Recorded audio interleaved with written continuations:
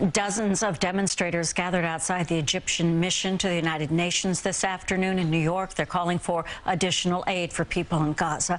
About 60 people joined the rally, which was organized by a pro-Palestinian group. They want Egyptian President Abdel Fattah el-Sisi to open the Rafah border crossing so that more trucks full of humanitarian aid can get to Gaza. I'm an American Palestinian, never even had the privilege to go back to the homeland and, and, and visit because it's just unjust. It's not fair, and it needs to once and for all end. Just allow people to live. The protesters also want Egyptian leaders to allow Palestinians into their country.